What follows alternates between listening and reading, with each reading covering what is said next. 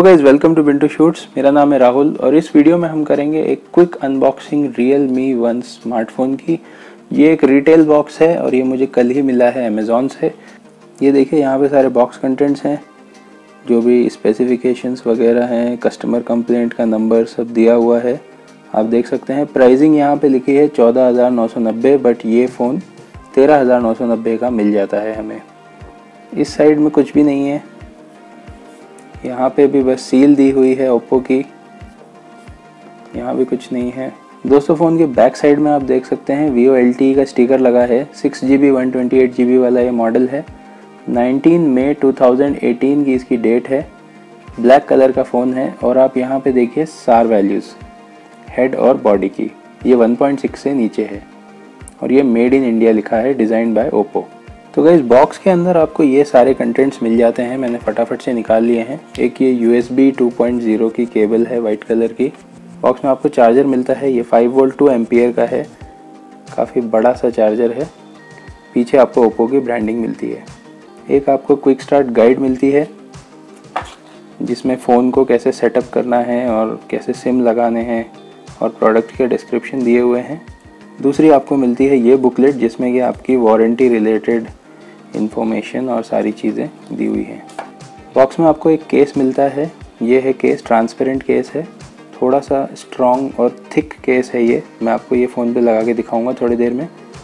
ये बॉक्स के back side में आपको मिलती है सिम इजेक्टर पिन और आपको मिलता है फ़ोन ये देखिए फ़ोन कुछ इस तरह का है ब्लैक कलर का। और ये इस तरह की रैपिंग में आता है, जो मैंने हटा दी है और उसके ऊपर ये स्टिकर लगा रहता है बैक साइड में। तो गैज़ ये रहा फ़ोन देख लीजिए आप।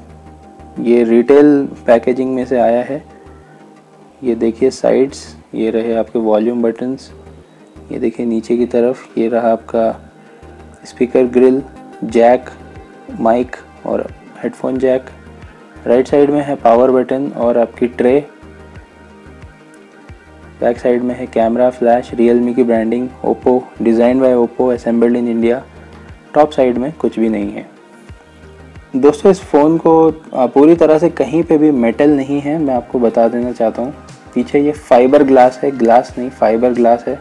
और साइड्स भी छूने में फाइबर ग्लास या पॉलीकार्बोनेटेड की ही लगती है छूने में।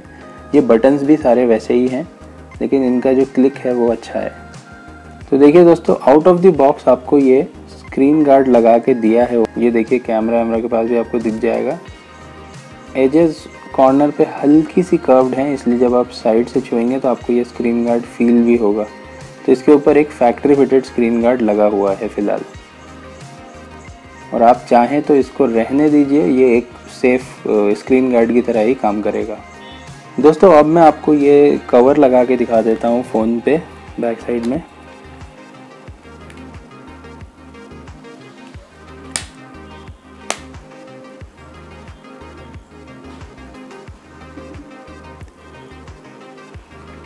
तो ये देख लीजिए, ये रहा फ़ोन कवर के साथ। ये देखिए आप कवर ये थोड़ा काफ़ी थिक कवर है, जो एमआई के फ़ोन्स के साथ आता है, उसके मुकाबले ये काफ़ी थिक कवर है। जस्ट फॉर कंपैरिजन मैं आपको दिखा दूँ तो ये देखिए, ये एमआई का केस है, और इसके मुकाबले ये थोड़ा सा थिक और थोड़ा सा हार्ड भी है। ये काफ़ी सॉफ्ट था, ये देखिए, ये आसानी से निकल भी जाता है। ये इतनी आसानी से नहीं निकलता। स्क्रीन के भी ऊपर आता है तो आपको प्रोटेक्शन मिल जाती है और ये देखिए सारे पोर्ट्स के कटआउट अच्छे से बने हुए हैं। बटन्स वगैरह कवर्ड हैं इसमें। बटन्स का कोई कटआउट नहीं है। टॉप पे खाली है, यहाँ भी बटन्स कवर्ड हैं। और पीछे से कुछ ऐसा दिखता है आपको ये। तो गाइज़ मैंने फ़ोन को सेटअप कर लिया है। सबसे पहले तो आपको फेस अनलॉक इसका दिखा देता हूँ कितना फास्ट है। देखिए पावर बटन को प्रेस करने की ज़रूरत नहीं है। लिफ्ट टू वेक इसमें ऑन कर दीजिए। और फिर देखिए आप फ़ोन को उठाइए। और ये देखिए, ये अनलॉक हो गया। अब देखिए, दूसरी बात, मैंने इसमें अपना पिक्सल लॉन्चर इंस्टॉल कर दिया है, जो मैंने Redmi Note 5 Pro में भी यूज़ किया है। और ये देखिए, ये बढ़िया काम कर रहा है। अब मैं आइस को क्लोज़ करूँगा और फिर देखेंगे कि ये होता है कि नहीं अनलॉक ओके तो ये मैंने आइस क्लोज़ करी, ये फ़ोन को उठाया फेस की तरफ़ लाया, देखते हैं। और देखिए, ये अनलॉक हो गया। तो आप देख सकते हो आप देख सकते हैं कि ये हो जाता है unlock Realme eyes close करने पर भी। इस इशू के बारे में हमने रियल का जो हमारा कॉन्टैक्ट था, उनको इन्फॉर्म कर दिया था कि इसमें आप आइज़ खुली हो तभी फेस अनलॉक दीजिए, वरना नहीं। उन्होंने कहा कि वो डेवलपमेंट टीम से बात करेंगे रियल की। तो ये चीज़ सॉफ्टवेयर के थ्रू फिक्स होना तो पॉसिबल है डेफिनेटली लेकिन ये कब फिक्स होती है, उसके बारे में मैं फ़िलहाल कुछ नहीं कह सकता। मैंने आपको डेमो दिखा दिया, जो आप में से कई लोगों का डाउट था। गाइज़ अब एक काम की बात। जब आप इस फ़ोन को सेटअप करेंगे तो आपको ये एक क्लोन फ़ोन का ऑप्शन देगा तो वो आप ज़रूर यूज़ कर लीजिएगा। क्लोन फ़ोन यूज़ करके आप अपने पुराने फ़ोन से इस फ़ोन को कनेक्ट कर सकते हैं थ्रू हॉटस्पॉट और फिर ये जो भी ऐप्स फ़ोटोज़ हैं, सबके सब इस नए फ़ोन पे इंस्टॉल कर देगा। तो देखिए, ये जितनी सारी ऐप्स हैं, ये मैंने क्लोन फ़ोन करके ही इंस्टॉल करी हैं और सारी ऐप्स इस फ़ोन में आ गई थी। उससे आपका काफ़ी सारा टाइम बच जाएगा। लेकिन एक बात का ध्यान रखिए कि ऐप्स तो इंस्टॉल हो जाएँगी, लेकिन उसमें लॉगिन करना और ऐप डेटा वो सब नहीं रिस्टोर होता है। मैंने जैसा देखा गूगल का थोड़ा डेटा स्टोर हो गया था बट जैसे आपका ट्विटर है फेसबुक है, उन सब में आपको फिर से लॉगिन करना पड़ता है हर एक ऐप में। तो इस चीज़ का आपको ध्यान रखना होगा सेटअप के वक्त। दोस्तों बिल्ड और हैंडलिंग में तो ये फ़ोन मुझे अच्छा ही लग रहा है, थोड़ा लाइट भी लग रहा है। देखिए, ये Redmi Note 5 Pro है, ये थोड़ा हेवी लगता है इसके कंपैरिजन में। मैं आपको ऐसे दिखा देता हूँ। वैसे दोनों के कवर लगे हैं। कवर हटाने पे डिस्क गैप और ज़्यादा आपको नज़र आएगा। तो ये देखिए टॉप पे।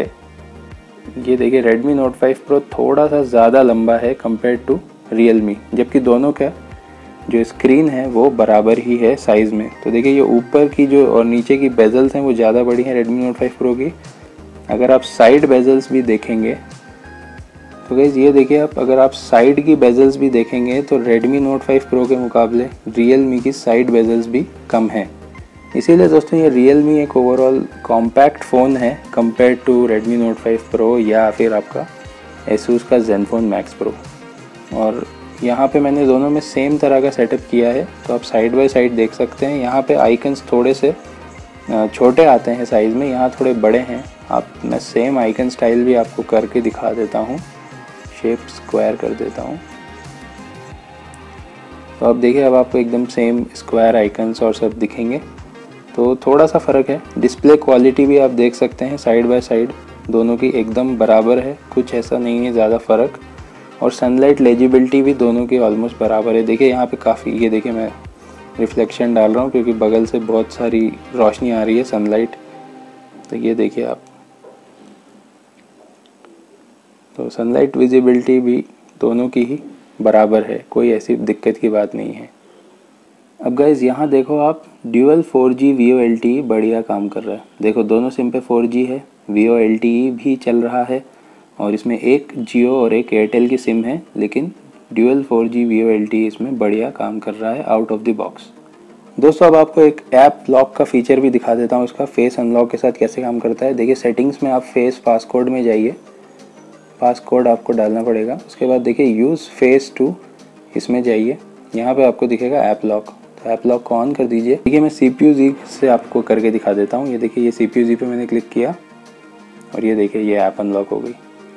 अब देखिए मिनिमाइज़ करने के बाद भी लॉक्ड ऐप को जब भी आप खोलते हैं तो ये देखिए, ये बार बार फेस डिटेक्ट करने के लिए कहता है। और अगर आपने मिनिमाइज़ किया सी पी खोला, ये देखिए तो ये जब तक लॉक नहीं डिटेक्ट कर लेता, खुलता नहीं है। ये देखिए सी पी यू जी खोला।